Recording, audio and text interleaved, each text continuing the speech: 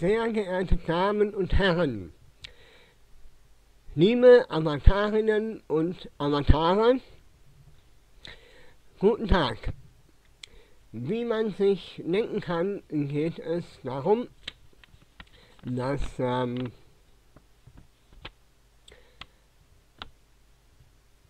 dieses Jahr zu Ende geht und äh, danach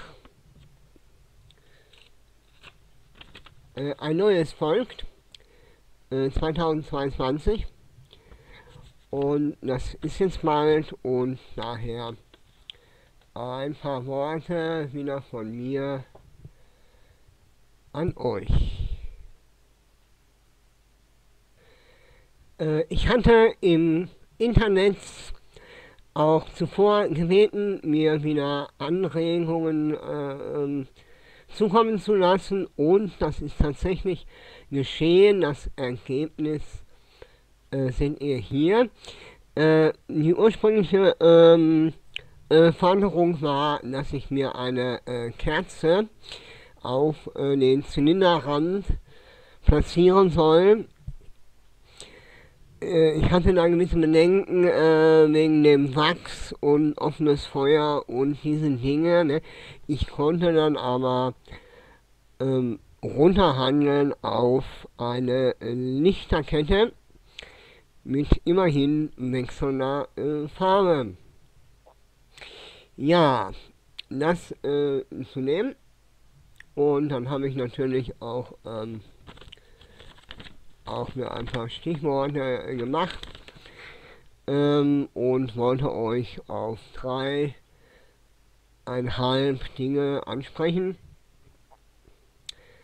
Einmal natürlich äh, auf äh, Corona und Omikron äh, kommen wir nicht dran vorbei, ist noch nicht vorbei die Sache und äh, einiges nervt auch mich mittlerweile. Ne? Äh, ihr seht das an meinem äh, äh, Oberbekleidungen, an meinen T-Shirts. Das werden immer mehr, ne? Und äh, hier ist mal so eins, ne? Und ähm, das weist auf diverse nötige, immer noch nötige und umso nötigere Dinge hin.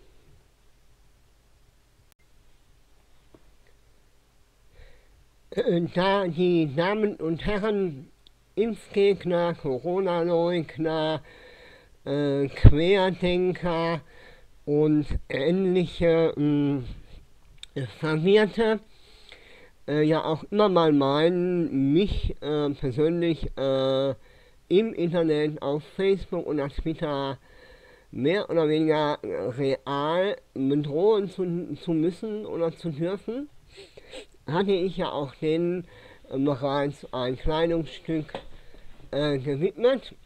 Das kennt ihr eventuell schon. Ne? Und ähm, ich zeige es aber gern nochmal. Ne? Und ich werde euch auch äh, noch ein kleines Schaubild dazu einblenden.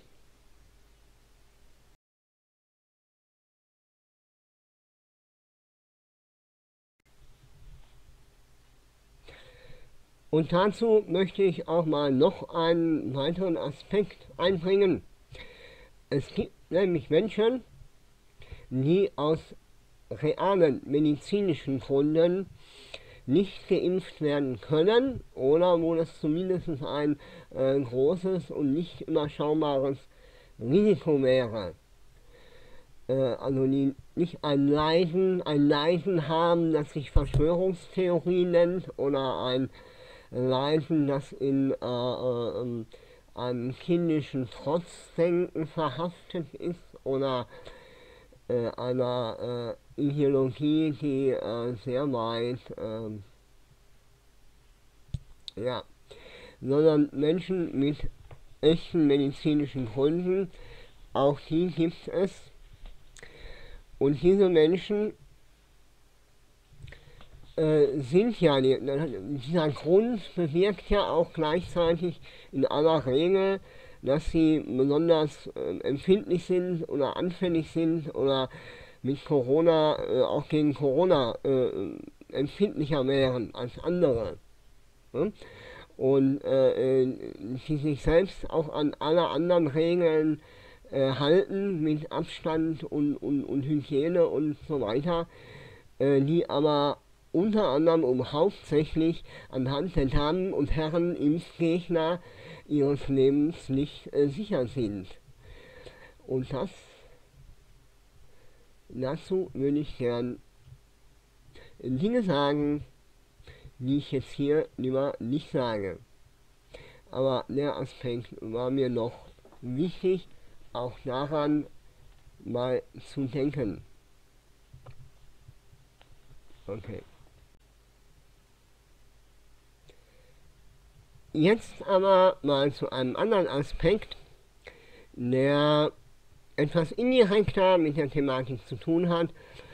Man könnte ihn vielleicht äh, falsch verstehen. Von daher eine Vorbemerkung, Menschen, die äh, ernsthaft psychische Probleme haben mit der Situation, äh, Menschen mit Depressionen und ähnlichem, äh, die meine ich im Folgenden nicht und die äh, möchte ich dringend bitten, sich an lebende Menschen zu wenden, mit denen zu reden oder wenn das nicht möglich ist, durchaus auch so Dinge wie die Telefonseelsorge in Anspruch zu nehmen. Ich habe das vor einigen Jahren auch selbst schon getan. Äh, meine Erfahrungen waren positiv. Also die sind jetzt nicht unbedingt, äh, die sind auf keinen Fall jetzt gemeint, aber äh, im Laufe der Situation haben wir ja auch eine ganze Menge, ja, wie soll ich sagen, normal genervte, normal äh, gelangweilte und, und so weiter. Äh, und ich kann es verstehen, ich kann es verstehen, so wie ich, äh, mit de facto ohne Familie, de facto ohne Freunde, auch vor äh, diesen Jahren schon, äh, ähm, das trifft nicht auf jeden, nicht auf viele zu, aber ich wollte mal darauf hinweisen, es besteht kein Zwang, gute Laune zu haben. Das ist nicht verpflichtend. Das hat man nicht unterschrieben. Man muss nicht immer gute Laune haben. Äh, äh, mal laut und mal bunt und bunt und laut, das ist äh, schön, das ist auch mal schön, aber es ist nicht die einzige Sache. Und ja, als ich darüber nachgedacht habe, ähm, ist mir dann der ähm, Adolf Grimme Preisträger von äh, 2004 wieder eingefallen, den ich ja äh, nach wie vor sehr mag und ähm, der hat ja zu diesem Thema etliches äh, gesagt und, und auch verkörpert. Wir erinnern uns, er gewann 2004 den Adolf Grimme Preis und seine Lieblingsbeschäftigungen bestehen zum Beispiel darin, zu Hause seine Südwand anzustarren, äh, also Südwand, das Muster der Raufasertapete auswendig zu lernen, seine Lieblingszeitschrift Die Wüste und Du zu lesen, Testbilder im Fernsehen zu schauen oder seine Sammlung der langweiligsten Eisenbahnfahrtstrecken auf Video zu erweitern. Er äh, trinkt oder verspeist sehr gerne lauwarme Mehlsuppe mit einem Hauch Ingwer und seine plakativ schlechte Laune, die setzt er der Fröhlichkeit, der aggressiven Fröhlichkeit seiner Kollegen aktiv entgegen und er zitiert auch gerne zum Beispiel Sartre, die Hölle, das sind immer die anderen.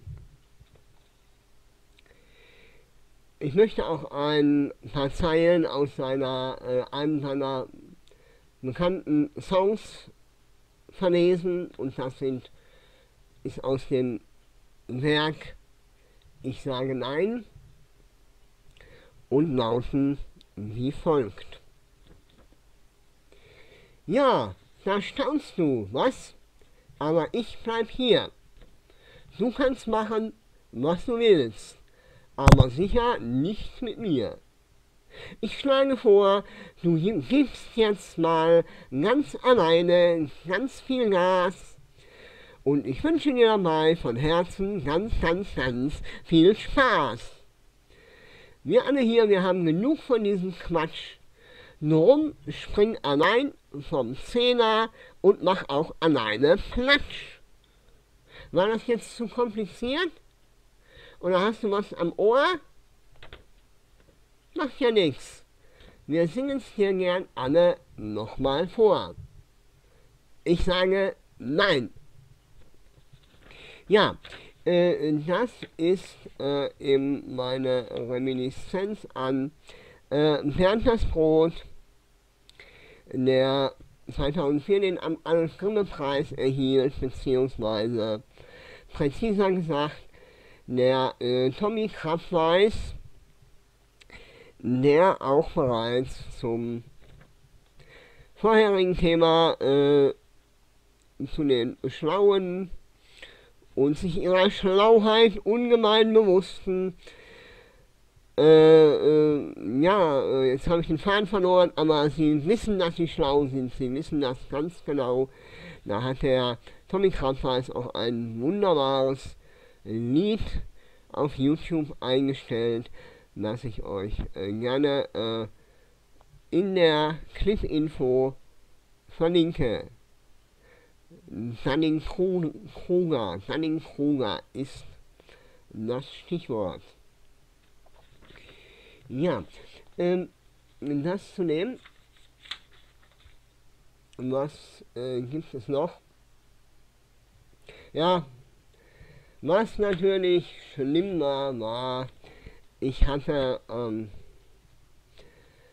jetzt auch schon wieder mal Geburtstag und äh, diesmal gibt es tatsächlich einen Song von den Beatles, verlinke ich auch. Äh, When I'm 64. Vieles, was darin vorkommt, trifft auf mich gar nicht zu, aber einiges ja vielleicht doch. Ne?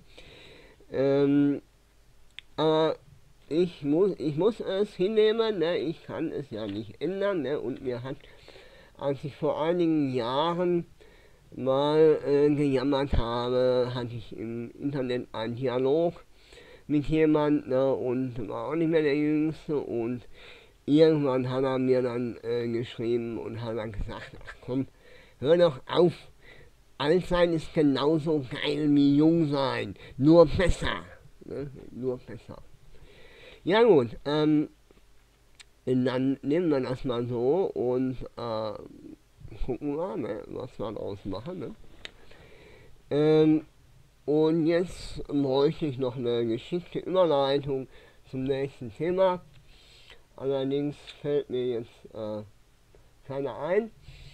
Äh, dann mache ich einfach noch mal ein bisschen äh, Reklame, ne? also Schleichwerbung. Äh, mein mein neuestes, mein letztes Buch oder Büchlein ne, ist äh, relativ schnell ähm, auch gelesen, wenn man das möchte. Ne? Äh, äh also ich habe festgestellt, ich mag das Buch, ne? ich mag das. Ne? Und äh, es geht da um diverse Dinge. Ähm,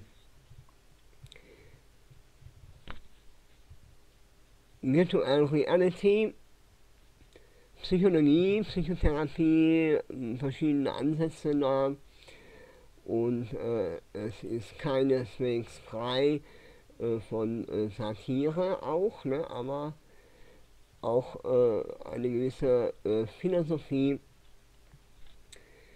äh, philosophische Aspekte sind darin, wenn ich größenwahnsinnig wäre, ich weiß, etliche denken, es wäre so, aber wenn ich größenwahnsinnig wäre, würde ich sagen, es hat vielleicht äh, einen, Entschuldigung, es hat vielleicht einen Hauch, einen Hauch von äh, äh, Philipp K. Dick, sehr interessant und ähm, auch ein, zum Beispiel mal ein Kapitel über Fortbildung, ein wenig von äh, ähm, ein wenig von äh, Douglas Adams, aber das wäre selbstverständlich viel zu hoch gegriffen.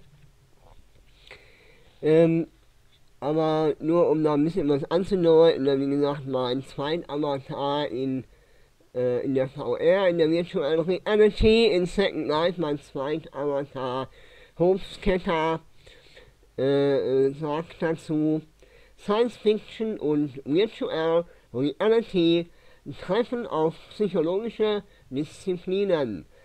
Amüsant, lehrreich, philosophisch, nochmals amüsant und dabei in spannender Weise verwirrend. Ne? Und ähm, es ist auch recht preiswert, als E-Book noch preiswerter und ich will da auch äh, keinen äh, äh, Gewinn mitmachen, wer sich sicher ist, dass er das Buch braucht aber auch die paar Euro bzw. beim E-Book Cent nicht übrig hat, kann mir gerne mal eine Mail oder so schicken, denn wir werden einen Weg finden, denke ich. Ja, und ähm, damit ähm, bin ich mit den Hauptpunkten eigentlich durch. Äh, äh ich ähm, meine praktische Lebenshilfe auch in diesem Jahr wieder Tragt keine Socken in der passenden Größe. Also bei mir hat sich das absolut nicht bewährt. Immer eine Nummer größer, es ist besser für euch. Auf Dauer sowieso. Also meine feste Überzeugung. Ähm, und äh, gute Vorsätze, ne, wie immer, ne, vielleicht mal im nächsten Jahr einen Euro äh, mehr spenden für wohltätige Zwecke, als ihr eigentlich geplant hattet.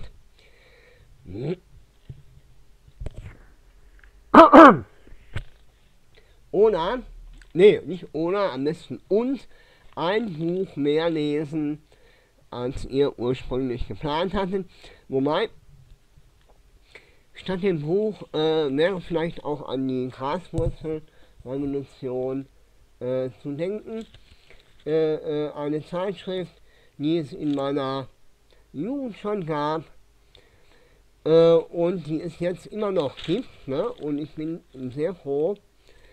Ähm, die einzige Zeitung, die ich auch abonniert habe, äh, weil für pazifistische pazifistische Anarchisten gibt es kein anderes oder zumindest kein besseres Zentralblatt.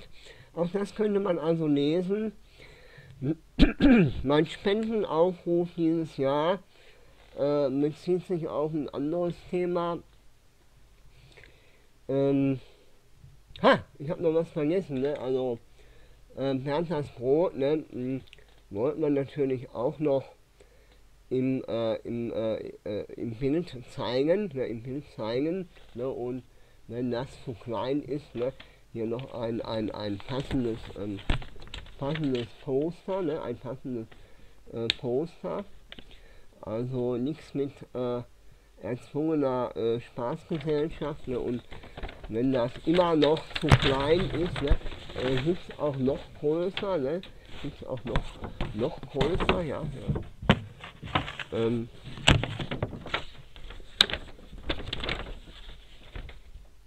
es gibt ein Recht auf schlechte Laune, ne? oder zumindest keinen Zwang zu äh, guter Laune. Ne? Habe ich noch vergessen, äh, Entschuldigung, habe ich jetzt nachgetragen, äh, ist eigentlich äh, wirklich blöd, weil äh, ich wollte ja noch mal einen äh, Spendenaufruf, ich blende da gleich wieder was ein. Ähm, äh, ihr äh, wisst ja die politische Lage, ne, ich sage mal, äh, Belarus und äh, Ukraine und ähm, diese Gegend, ne, also äh, ist absolut nicht erfreulich im Moment. Ne? Äh, von daher habe ich gedacht, mit meinem Spendenaufruf, äh, da gibt es gemeinnützige Organisationen, äh, die Friedensforschung machen. Natürlich müssen wir uns auch ganz direkt einmischen, zumindest zu Wort melden, ganz akut und ganz äh, direkt. Aber Friedensforschung zum Beispiel ohne Rüstung leben ist gemeinnützig, könnte man einen Euro hinschicken oder auch zwei und wer noch mehr hat, auch gerne noch mehr. Ähm, ja, äh, das wollte ich dazu sagen. Und ansonsten wünsche ich euch allen alles Gute in allen Welten. Live long and prosper. See you.